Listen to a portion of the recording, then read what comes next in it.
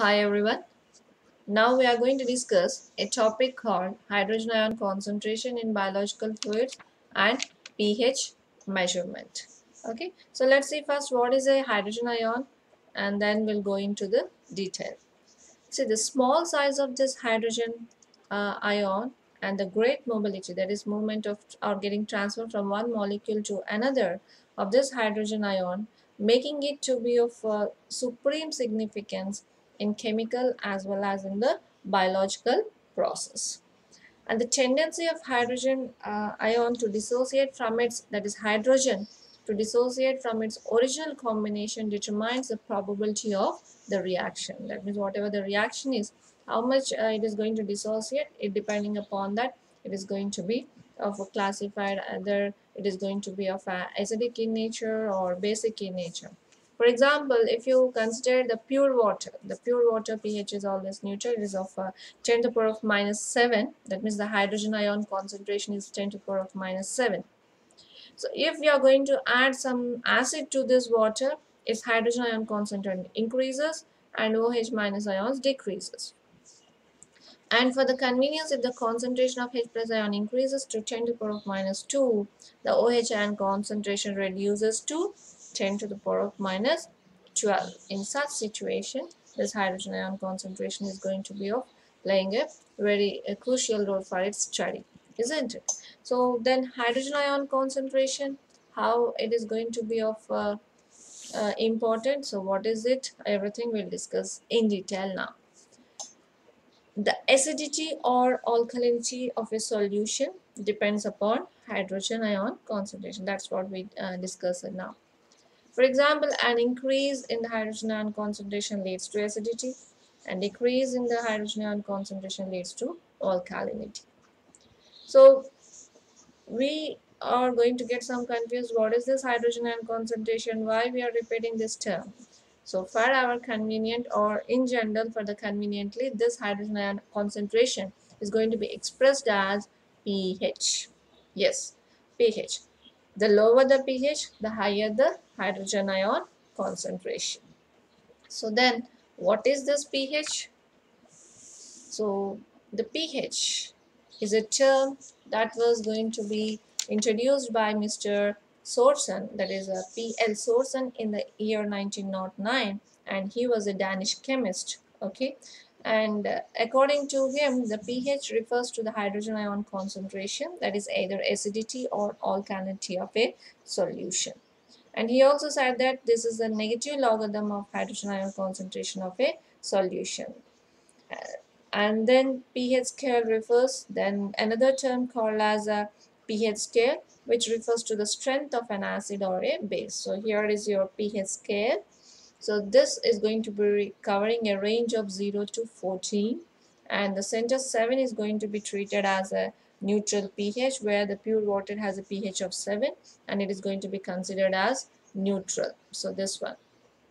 Okay. And uh, solutions with pH less than 7 are all going to be considered as acidic solutions and the solutions above 7 are all going to be considered as basic solutions or alkali solutions. So it is important to remember that the pH is logarithmic function. That is logarithmic function. That means a change of one pH unit represents, that means just a 1 pH change represents the tenfold change in the hydrogen ion concentration. Tenfold, that means the multiples of the tenfold hydrogen ion concentration is going to vary just the change of a uh, one a change of 1 pH. Okay. So here, uh, just look here, we are having the pH scale ranging from 0 to 14 and here is the center uh, where we consider the pure water is neutral and below which is acidic and above which is basic, isn't it? So what is happening in the acidic? What is the hydrogen ion concentration here? So you are going on having the increase of the hydrogen of concentration as you move below the 7. And as you are going on moving above the 7, the hydrogen ion concentration decreases. And what about the hydroxide ions, that is OH minus ions? It is vice versa. Here they are um, below the 7 they are going to be decreased in number and from the 7 above the 7 they are going to be of increasing in factor. So this is how the pH scale is going to have a very prominent role of uh, deciding uh, whether it's an acid or a base. Okay, so then uh, we are moving uh, to the thing and why there is a need of uh, studying this pH means uh, the acidity or alkalinity of an environment can greatly affect our microbial growth. So that's why we are uh, supposed to read about this pH concept though it is a chemistry related. Okay, every microorganism has a pH range within which growth is possible and typically shows a well-defined growth pH optimum. So most organisms shows a growth range of uh, having um, about the pH of this 5 to 8. Most of the organisms uh, shows the neutral pH range only to grow. And there are some exceptions where they go uh, lower that is going to be called as acidophiles and more than the 7 those are going to be called as basophiles or alkalophiles. So let's have a look how this pH and the microbial growth are going to have. So as I told you, microbial growth and its activity are strongly affected by the pH of the medium. And then microorganisms has a pH range where they are going to show this maximum growth and that pH is going to be defined as the optimum pH. In general, as I told you, their pH is going to be a neutral range that is 5 to 9 pH. And usually they cannot tolerate below or above this pH but there are certain exceptions as I told you. So for example check the urinary tract infections uh, they are able to grow even at the pH level that is more alkaline conditions and some fungi are able to grow below 5 that is in acidic conditions even at uh, as low as 2 the pH 2 and some plant and soil microorganisms grow in relatively alkaline environments. Okay, so this is a relationship of the uh, pH and the microbial growth. Then moving to the pH measurement. The pH measurement is also going to be uh, the thing that we are supposed to discuss here. So that means how you are going to determine the pH of a solution. The pH measurement of a solution uh, to determine to acidity or alkalinity were formerly uh, accomplished with a uh, color uh, papers or color indicators where we call them as pH papers, isn't it? And many a time, however, the shades of color or uh, subtle change is difficult to determine that whether this is a pH of what, isn't it? So these all confusions were kept in, to an end by the introduction of this uh, electronic instruments. So these electronic instruments has eliminated this drawback by sensing the ion concentration and indicating the pH value on a meter. And some of the modern instruments uh, have a digital display also of this pH uh, reading. Okay, the instrument of the measurement of the pH is called as pH meter. That means the instrument that we are using for the measurement of the pH is being called as pH meter. Okay, now we will discuss about the pH meter in detail. So this is a figure of the pH meter. So here you can see there are two rods and this is a solution that you are going to have. Okay, and here the two rod names are going to be measuring electrode and one side you are going to have a uh, reference electrode the reference electrode is also going to be called as a calomel electrode isn't it so do you know what is a calomel electrode um, which is going to be of mercury and mercurous chloride. We'll come in detail about it one by one. So these are the main components of uh, what we call uh, uh, components of a pH meter mainly having the three. One is going to be called as a reference electrode and then we are going to have a measuring electrode then we are going to have a electrometer so the reading at which you are going to see is going to be called as electrometer so this is going to be your reference electrode as I told you we call this as a calomel electrode too and then we are going to have this one the second one is going to be the measuring electrode or glass rod electrode. So here the pH meter is essentially fitted with a pair of electrodes connected to a meter scale. Yes. So here we are having the two electrodes which are connected to a meter scale indicating our pH.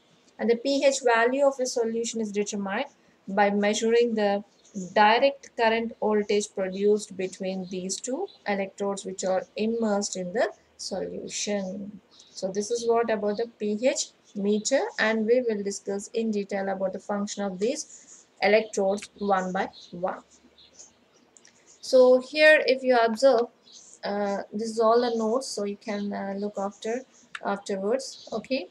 And coming to the explanation of this pH meter as I told you two electrodes are there. The first one is the reference electrode and this consists of a glass tube. So here you are able to see a glass tube with the liquid mercury and mercurous chloride which we call it as a calomel so somewhere there somebody are going to use the silver and the silver chloride also and this whole thing is going to be fitted in a reservoir of uh, solution saturated solution called as KCl that is potassium chloride so it may be a liquid or a gel so this is going to be of uh, produces a constant potential and it is independent of the pH of the solution. It is not going to have uh, anything to deal with the solution. So always it is going to have a constant, uh, what we call it as a constant uh, potential value. Okay, and then coming the second type of the electrode that we are going to have is a measuring electrode or glass electrode we call it as and this is going to uh, contain a silver chloride coated with uh, this is what coated with the platinum wire immersed in a potassium chloride and silver chloride solution. So here you can see uh, here this is a platinum coated wire and you are going to have a silver chloride solution isn't it? So the measuring electrode is the one this electrode is the one which uh, the potential varies with the pH of the solution that means it is going to show the differences or the fluctuations of the electrons uh, mobility in this uh, solution and that is going to be captured by this glass electrode or measuring electrode and that is going to be given to the meter. So the measuring electrode is the one which the potential varies with the pH of the solution. Now this electrical contact is established by each of the electrodes. So those two electrodes combination with the solution at the tube end. So both the here you are going to have some sort of members, uh, glass members and fiber net. So where they are very sensitive in finding out the electron mobility. And these are going to be, uh, members are going to be of very useful for conductive connection uh, to with the solution. Now how it is going to work? As the electrode pays or in contact with the solution that uh, we have kept in the solution, now the electric output of the complete unit. So this is both rods are going to act as a complete unit, isn't it? So complete unit represents the algebraic sum of the two electrode potential. This potential is constant, it is going to vary. So together you are going to get the thing. The electrode potential of the calomel electrode is constant and that of the glass electrode varies depending upon the solution. That's what I told you. Now this potential changes of uh, about 59 millivolts per pH unit of the unknown solution. Thus, when the voltage flow is directed towards the electrometer, that is our meter or multivoltmeter, the pH value is directly indicated. So whatever the reading that you are going to get here is nothing but the pH of the concerned solution that you used. So this is uh, what about the components of the pH meter and the working mechanism. Then moving to the principle, I told you that it's a combination of uh, two electrodes, the glass electrode and the calomel electrode. When dipped in the aqueous solution, they are going to pro produce or develop a potential across the bulb. Okay, that uh, is the bulb that we have discussed. This is the bulb.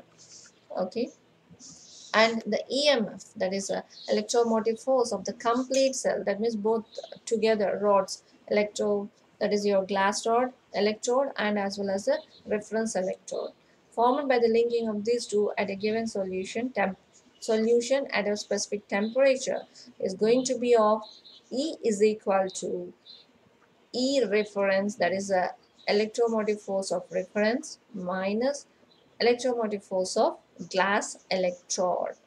So where we know the this reference electrode is going to have a uh, potential stable and this glass is going to show the depends the on the pH of the solution under test.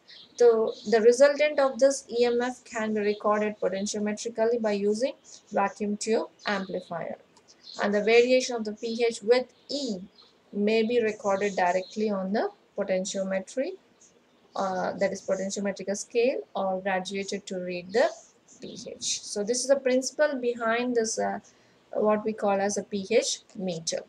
So we had gone through the components of a pH meter how and then working mechanism and its principle this is very important E is equal to the E reference that is the reference electrode electromotive force minus you are going to have the electromotive force of uh, glass electrode.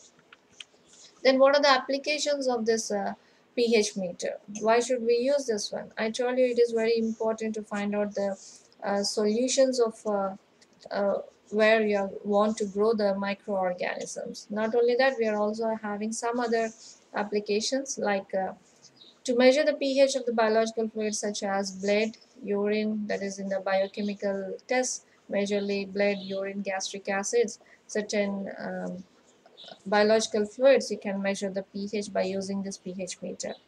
And also we can determine the concentration of the substances by using this pH meter. And we can know the pH of a buffer solution and we can maintain the pH of the reaction conditions by knowing the pH by with the help of this pH meter and we can adjust it and it is also going to be used to measure the pH of the rainwater okay in the environmental studies uh, this uh, measuring the pH of rainwater is also important to know the pollutants all these things. And then to measure the pH of the soil. So in the agriculture fields knowing the pH of the soil is very important such that how much buffers we are supposed to add it all these things uh, is going to have very important uh, important factor uh, for the cultivation of the crops isn't it? So there the pH of the soil can be measured by using this pH meter and then maintaining perfect and accurate pH levels in several daily activities like keeping the milk from turning sour all these things.